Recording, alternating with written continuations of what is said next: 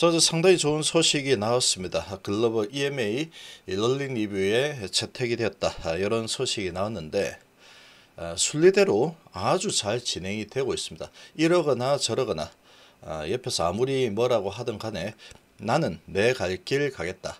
아, 순리대로 잘 진행이 되고 있다. 이렇게 좀 보면 되겠죠. 자, 세계로 뻗는 셀트리온 글로벌 경쟁력이 거의 만점에 가까운 그런 점수가 나왔습니다. 글로벌 경쟁력이 만점이다 그러면 업계 1위다라고 어, 보면 되죠. 업계 1위의 셀트리온이다. 이 정도로 해석이 되는 겁니다. 자, 20선 돌파했죠. 오늘 20선을 돌파를 했습니다. 나스닥도 급등을 했죠. 모든 부분이 이 셀트린의 모든 이 상황이 지금 급반전되고 있죠. 원래 좋았습니다. 원래 모든 상황이 좋았는데 주가를 상당히 밑으로 거의 어거지로 끌어내렸죠. 거의 주작을 통해서 끌어내린 수준이다. 이렇게 볼 수 있습니다. 그러나 이제 더 이상 뭐 끌어내릴 만한 그런 건덕지도 없죠. 자, 먼저 미 증시 한번 보시면 지금 다우가 0.5% 상승을 했죠. 나스닥이 2% 가까이 급등을 했습니다. 1.7% 올라섰죠. 지금 테이퍼링 이슈가 좀 나와서 이 증시를 좀 눌러대는 그런 분위기를 보였었지만 일단은 다 벗어났죠. 완전히 벗어나 버리는 그런 분위기입니다. 금리가 크게 올라가거나 그런 모습이 안 보였죠. 그러다 보니까 또 하락이 아주 크게 일어났었죠. 이미 이미 크게 일어났었고 이제 불확실성이 해소가 되었다. 그리고 지금 당장은 하지 않는다. 이런 부분들이 상당히 좀 어필을 하고 있다. 이렇게 생각이 됩니다. 자, 지금 뭐 시장의 분위기는 다시 이제 달리는 분위기죠. 달리는 분위기에다가 그리고 나스닥 선물도 좋습니다. 지금 0.25% 0.28% 상승을 하고 있죠. 어제도 어, 급등을 하고 오늘도 나스닥 선물 추가적으로 치고 밀어 올라가겠다 그런 모습을 보여주고 있습니다. 자 증시가 이제 약세를 보일 이유가 없죠. 증시는 약세를 보일 만한 이유를 찾아볼 수가 없는 상황이다. 그렇게 볼 수 있겠습니다. 자 지금 이 세계로 뻗는 이 셀트리온 글로벌 경쟁력 투자 우수 기업 선정. 자, 요 소식이 또 오전에 나왔는데 최근에 나오는 이 소식들을 보면은 이 셀트리온에 상당히 우호적인 기사들이 많이 나오고 있죠.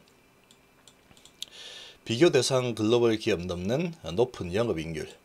어, 지난해 유무형 투자액이 5,413억으로 동정업계 1위입니다. 동정업계 1위고 자 내용을 좀 들여다보면은 국내 500대 기업 평가에서 글로벌 경쟁력과 투자 부문에서 높은 점수를 획득하면서 우수 기업으로 선정이 되었죠.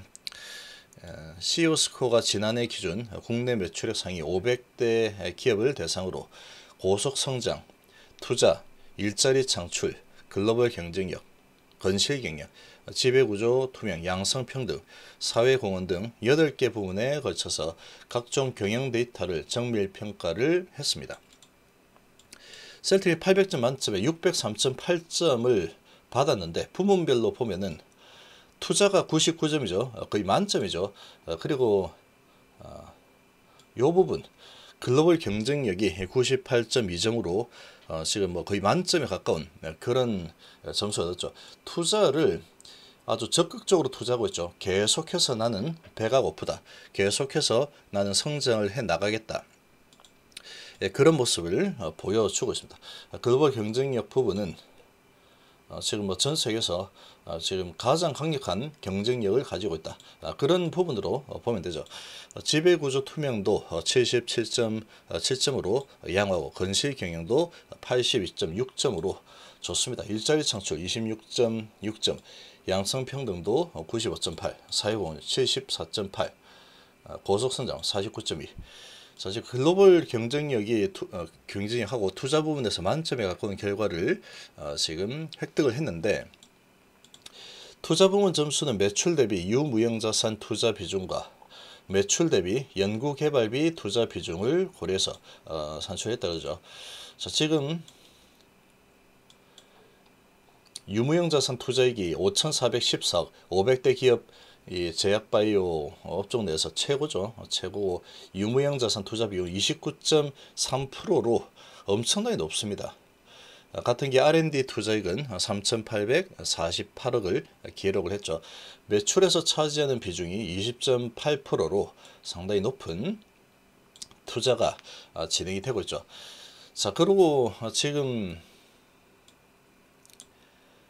보시면 영업이익 부분이 정말로 좋습니다. 셀트리온은 비교 대상 글로벌 기업보다 높은 영업이익률을 기록을 하고 있죠. 지난해 기준 글로벌 기업 영업이익률을 보면은 이 제약바이오 이쪽의 영업이익률 보면 20% 정도 됩니다. 상당히 높죠. 이것도 높습니다. 높은 수준인데 지금 셀트리온 같은 경우에는 38.5%로 거의 두 배 육박하죠. 지금 뭐 혼자서 어, 나 혼자 내가 제일 잘 나가 이런 모습이죠. 지금 이 셀트리온이 그야말로 내가 제일 잘 나가 아, 그런 이 모습들을 수치로 어, 보여주고 있죠. 자, 셀트리온은 램시마, 트룩시마, 허주마 등 어, 대표 바이오시밀러 3종 모두 미국 허가를 획득을 한 상태고 이 중에 램시마는 지난해 미국에서 3억 4,100만 달러, 3,770 6억을 기록을 했습니다. 인플렉트라 지금 이 점유율을 계속해서 높여가고 있죠. 아주 뭐 강력합니다. 자, 그래서 이런 기업은 그냥 투자를 하기 딱 좋은 기업이죠. 어, 투자를 하고 어, 그냥 기다리면 되는 기업이다. 이렇게 볼 수가 있는 거죠. 자, 지금 셀트리온 20선을 돌파했죠. 20선을 돌파를 해서 강하게 밀어 올리고 있습니다. 20선 돌파. 아, 입선 돌파해서 쭉 밀어 내렸다가 이제 파동을 탔죠. 어, 파동을 타는 모습을 보였는데 이제 뭐 갈만한 자리였죠. 여기의 위치를 보면은 여기하고 유사하다 그랬죠.